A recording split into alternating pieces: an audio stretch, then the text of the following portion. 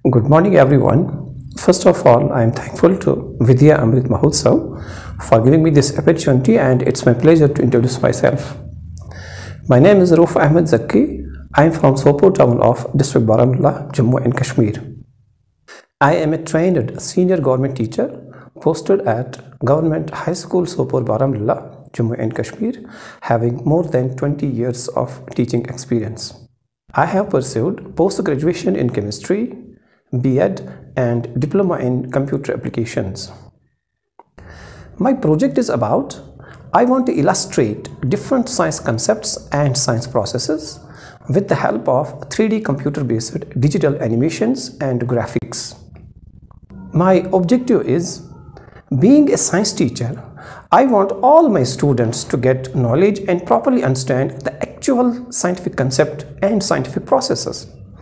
With the help of 3D computer-based flexible animations, graphics, videos, photos, and other software programs, class will be similar to playing with a cute toy and scientific skills can be developed in the students.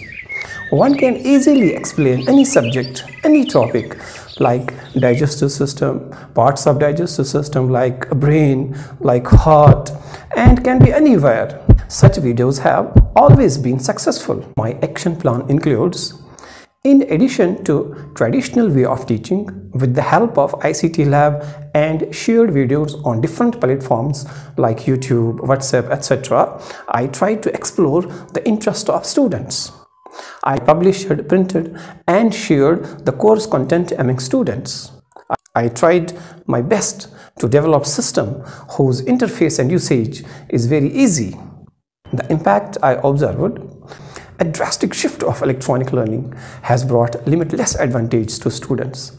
The Ministry of Electronics and Information Technology identifies online learning as an essential tool for imparting education. The advancement of technology has made access to information quicker. It becomes permanent when in video forms. As a result, student can revisit these videos over and over again to learn on a personal schedule that suits them, even from the comfort of their home.